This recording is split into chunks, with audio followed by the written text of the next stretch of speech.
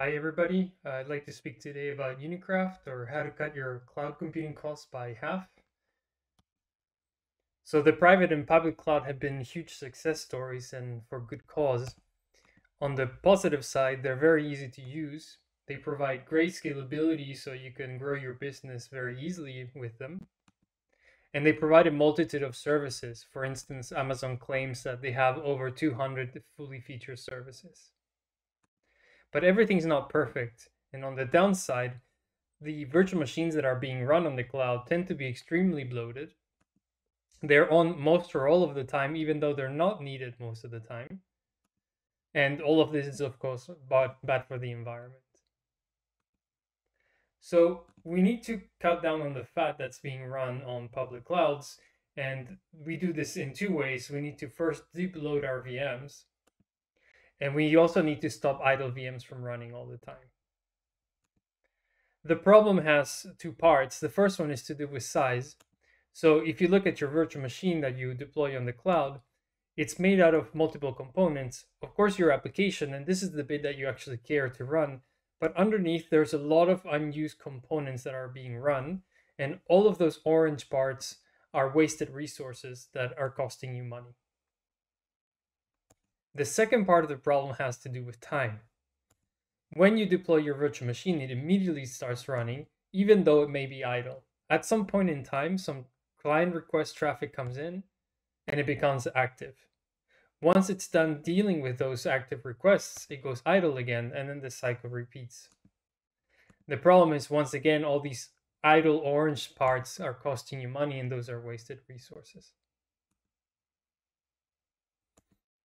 So one way we can deal with this is through specialization and by achieving high efficiency. And in the virtualization space, specialized virtual machines are essentially what we call unikernels. And I'll explain a little bit more about what unikernels are in a moment. So the goals we have is first, we want these to be easy to build and run.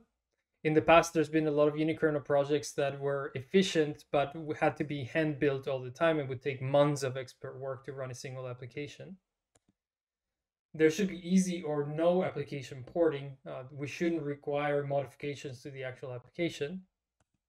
And the third one is, of course, that they should perform well. So just to give you a little taste of what unikernels can do, they can start and stop very quickly and have good migration times. There's been even some papers showing that these can boot in as little as a few milliseconds, uh, which is not far from what a process takes to actually start. They have very low memory footprint, so you can imagine running real world applications such as Nginx uh, with a few megabytes of RAM or less. You can have high density because they boot quickly, because they consume little memory. You can fit thousands of such virtual machines on a single x86 server. They can have high performance, so uh, you can have as many as 300,000 requests per second on an Nginx server and of course, they have as a side aside uh, security features like uh, small trusted compute base and so forth. So let me just show you what a unicorn actually is in one slide. Um, imagine all you want to do is run a web server. Normally what you do is you take a general purpose OS and distributions such, such as Linux and Ubuntu, and on it you're going to have third-party libraries and you're only going to need a few of those to run the web server, but you get all of them. Uh, there's OS libraries, same deal. Not everything is needed by the web server. And then out of the kernel, you don't need all the functionality of the kernel, but you get all of it anyways. In fact, what we'd like to do is by some sort of magic, be able to take those colored squares and build a custom operating system and software stack for that web server. And that's essentially what a unikernel is but it takes lots of development time. In the past, we had to manually sort of build this unikernel from scratch for each single application. So the question is, how do we transparently build efficient and POSIX compliant unikernels such that we can get the efficiency without having to spend a lot of uh, expert time porting applications? So we had two design principles with Unikraft. The first one is that we wanted a fully modular kernel that would make it really easy to pick and choose components we want and we don't want for particular applications. And the second one is that we wanted to provide high performance specialized APIs to get even better performance. So on the modular kernel, one question would be why not just use Linux and configure it? And to answer this question, we put together a dependency graph for the major subcomponents of, of Linux. And if you see a line between two such components, it means there is a dependency. And the blue numbers above them is how many dependencies there are.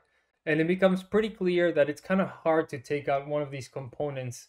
Uh, it requires a lot of engineering effort. So Unikraft is built from scratch to be fully modular.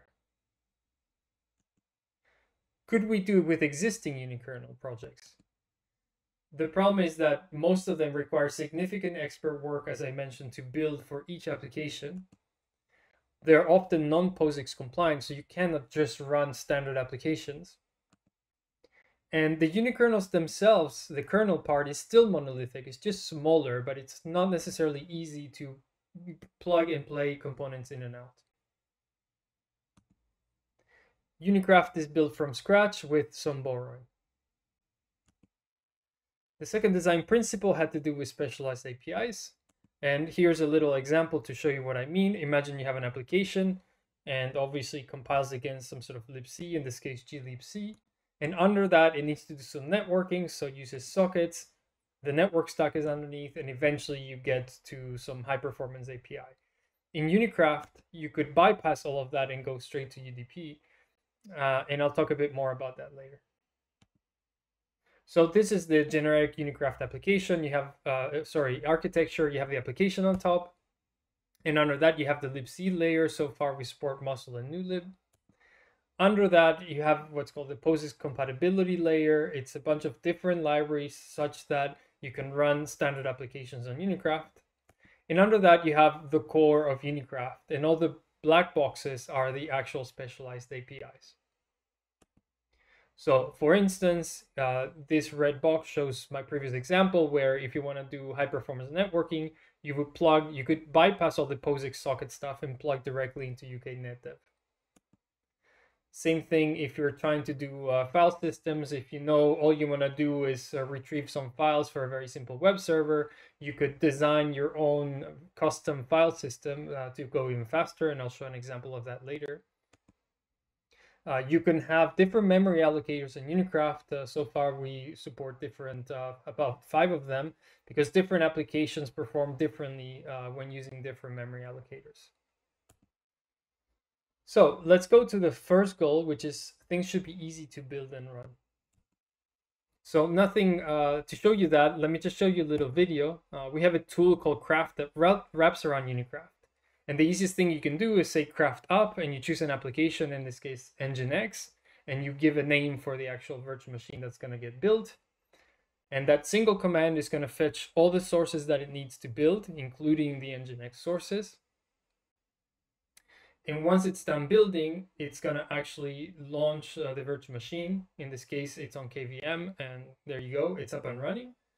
And just to make sure it is working properly, we get the IP address and we're going to download a simple web page. Uh, there is. Let's try it once again. And a third time. And then you can see that it's actually up and running. So with a single command, you've now built a custom stack for Nginx and are now running it. So the second goal is that we should be able to run applications without having to port them, or it should be easy. So for this, we have two approaches to essentially POSIX compatibility. The first one we call auto porting, and in this case, we assume we have access to the sources like for Nginx or Redis or SQLite. And what we do is we build them with the native application, the native build system, but against musl. And then we link the resulting object files into Unikraft. We have our own ported version of musl. And then of course, musl requires syscalls, so we have a syscall shim layer, and under that we have our own implementation of syscalls that go to the different Unikraft uh, kernel libraries. We also have a mode called binary compatibility. This is for the case where we have no access to sources. So instead we take an unmodified ELF compiled under Linux, and we have a library that is essentially an ELF reader and loader, And then we trap the actual syscalls and redirect them to the syscall shim layer. So it all boils down to syscall support. Essentially, this uh, little box under here. So regarding syscall support, there was a paper. Uh, so far, we support about 146 syscalls. But to put this in context, there was a paper back in 2016 that was did an analysis of how many syscalls are actually needed to run useful applications. Linux has in the order of 350 syscalls, which is quite a bit. But as it turns out, you don't need all of these to run applications. So to take a little point in that study space, if you have in the range of 145, as is the case with uh, Unikraft right now, you could run in the order of 50% of the applications. Of course, it matters which of the syscalls you actually support, not just any 145. So to get a little bit more precise, we did our own study in Unikraft, and we took the top 30 Debian Popcon applications, the most popular ones, and we here have a plot where in the x-axis we have all the applications, and then the y-axis we show how much system call support we have in Unikraft for each of the applications. And the takeaway message is that it's mostly green. We mostly support all of them. And with a bit more work, we would support the remaining ones. But are all the syscalls that are uh, we did the analysis for really, really needed? And the reason we asked this question is because from working with Unikraft over time, we noticed that sometimes when we didn't have any syscall support for an application that was using it in the source code, the application would still run fine. So we started to dig a little bit more as to why that was. And the intuition is that you have a lot of snippets of code in applications, and this is from Redis, that is resilient to the lack of an, uh, an actual syscall. So in this case, the syscall is uh, getrlimit, and if the call is not there, if it fails, then Redis defaults to a, a sane value. And there's a lot of this in, in application code. So it turns out that maybe you don't need all the syscalls that are in the source code to actually properly run the application. So to dig into this a little bit more, we started putting together a tool that uh, basically is it's Linux based and dynamic, and it starts splitting an application syscalls into you know, which syscalls are in the source code, which syscalls are in the static binary, but then it does a dynamic analysis that tells you, yes, this syscall is required, meaning if you don't have it, the application will not run.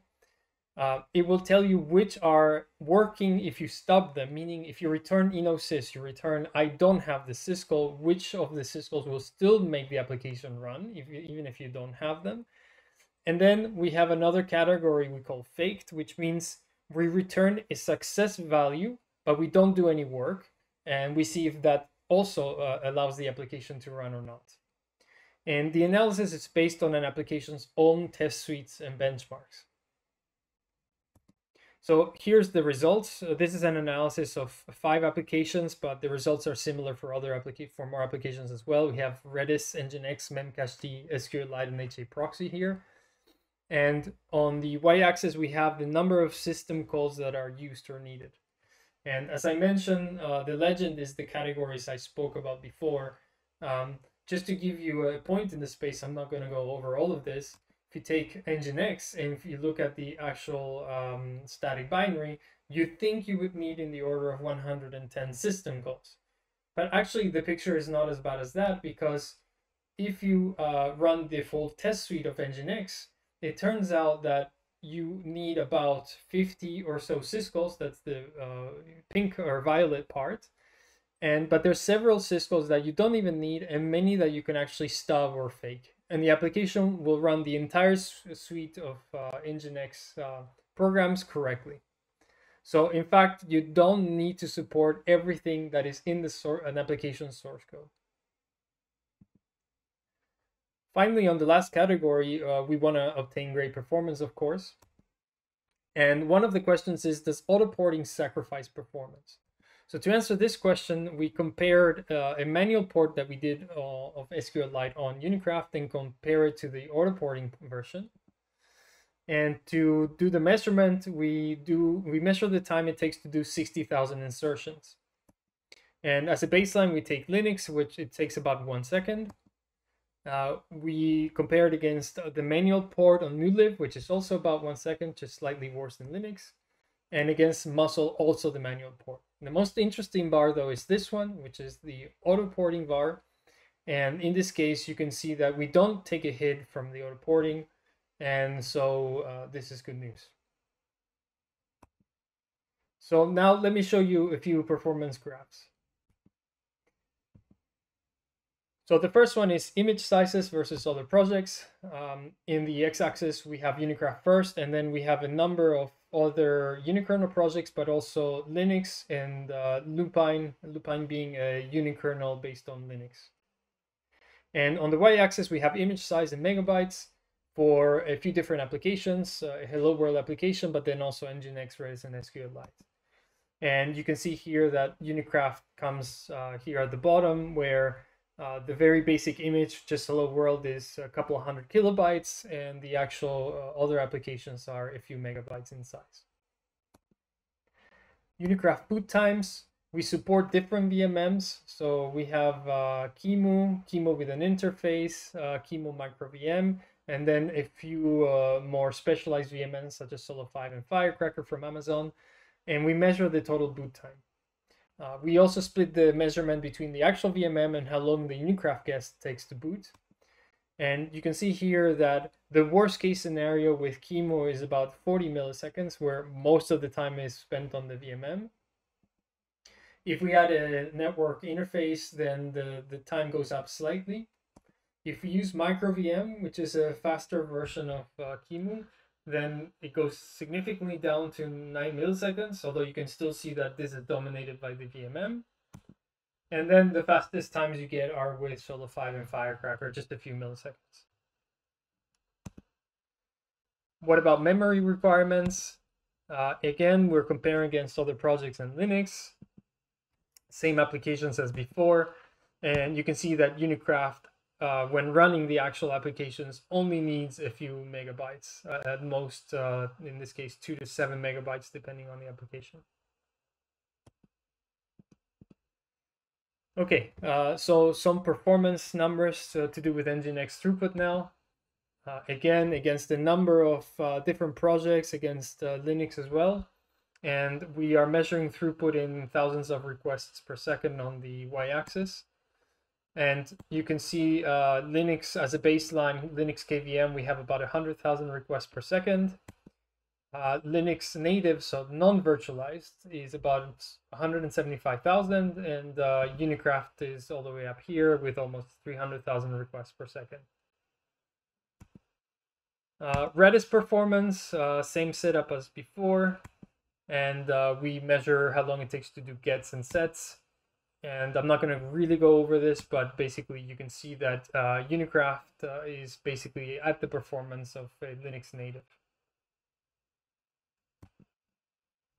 Boot times with different allocators. I mentioned that one of the things you can specialize for in Unikraft is different memory allocators. We support five different ones, and there's an API that allows you to add more. And you can see that the actual boot time varies with the actual memory allocator. Um, the standard one called binary buddy takes about three milliseconds, but we even built a custom boot allocator that is really, really simple. It's just meant to go fast. And if you do that, then you, you can go in uh, less than a millisecond, boot in less than a millisecond. Uh, throughput is also affected by memory allocators. So we did a test where uh, we use four different memory allocators for Redis, uh, for gets and sets, and you can see that there's a significant variation between uh, TinyAlloc, which is a simple memory allocator, and mimalloc from Microsoft. So it really does matter which memory allocator you're using. So now uh, just a little brief thing about specialized APIs. As an example, we targeted the file system area. In this case, we're trying to do a simple web server that does uh, that serves static files. And for this, we custom design a file system that uh, is based on a hash. It can quickly retrieve files. Um, that file system is called SHFS. And so in this graph, we show how many cycles it takes to retrieve a file when it's there and when it's not there. On the left-hand side is Unikraft. On the right-hand side is Linux. So Linux uh, VFS, you can see it takes uh, in the order of uh, 4,000 cycles when the file is not there and 2,600 when it is. Uh, we also disable mitigations because this affects performance. So you get 3,200 for the null file and about 2,000 for the when the file is there. Um, as a baseline, we used Unikraft without specialization, just using our standard VFS core, and you already get some gains uh, uh, compared to Linux. But you get the most gains, of course, when we use SHFS, and then uh, you get really low times of about 300 cycles. Okay, we also took uh, Unikraft to, to the cloud, and we did a little test by deploying Unikraft on Amazon EC2. Uh, there you can see some instances running. Um, so for this for this test, we took two large instances at first, and on one we put a standard Nginx uh, Debian image with Linux, and on the other one we put the same Nginx version but on Unikraft. And we did a throughput test, and we got about two times the throughput. We also took then a we kept one large instance, and then we compared against the medium instance on the large one, we put Linux, and on the medium one, Unikraft, and we got about the same performance. So this means that it's uh, 50 percent more efficient. Of course, we wanted to see if this translated to any money gains. So we looked at our bill on the Amazon EC2 console, and you can see here that we basically had 50% savings by using Unikraft in this scenario. So we'd like to go towards seamless integration and deployment. And to do this, uh, we are integrating into a few major frameworks. Uh, the first one is Kubernetes. We have this almost working, but it's not public yet, where we basically can directly plug into Kubernetes. You use the standard kubectl commands, the standard dashboard, but underneath, uh, we're actually uh, creating and running Unikraft unikernels. For monitoring, we have now support for Prometheus and Unikraft, so you can use your standard Prometheus dashboards to monitor the uh, statistics and, and the uh, runtime of Unikraft. And we're in the process of integrating uh, Unikraft into Virtual Studio Code so you can do your development of applications and so forth and the building of the unikernels directly from the IDE. as I probably failed to mention so far, Unikraft uh, is an open source project under the umbrella of the Linux Foundation and the Xen project. Uh, so if you want to go check it out, you can go to www.unikraft.org and you'll find lots of information, documentation, upcoming events, and so forth. Um, just to show you a little graph of GitHub uh, star growth for Unikraft, uh, we've been doing fairly well in the past few months, uh, but we're always, always happy to receive more support. So uh, please go check us out. If you want to know all the gory details, uh, there was a Eurosys uh, Best Paper Award given to Unikraft to, in, in this year.